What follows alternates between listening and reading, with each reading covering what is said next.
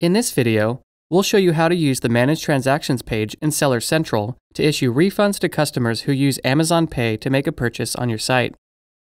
In your Seller Central account, please make sure that Amazon Pay Production View is selected in the Marketplace switcher. Navigate to Orders and then select Manage Transactions. In the list of transactions, locate the transaction for which you want to issue a refund. One of the best ways to find the transaction is to enter the Amazon reference ID in the search box. You can also search by buyer email or by seller order ID. In the Action column, click Refund. In the Refund Payment dialog box, enter the refund amount. You can issue full or partial refunds of the amount you previously charged the customer. You can also refund more than the amount that you previously charged the buyer. For example, in order to refund what it cost the buyer to return an item to you.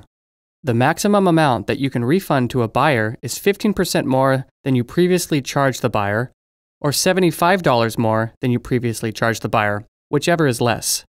Also, note that the maximum number of refunds allowed for a given charge is 10. In the optional Notes field, you can enter text that will appear in the refund email that is sent to the buyer. Click Review, and then carefully review the details of the transaction and the refund amount.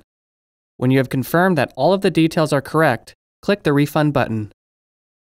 Refunds can be initiated via API as well, with additional documentation available at pay.amazon.com.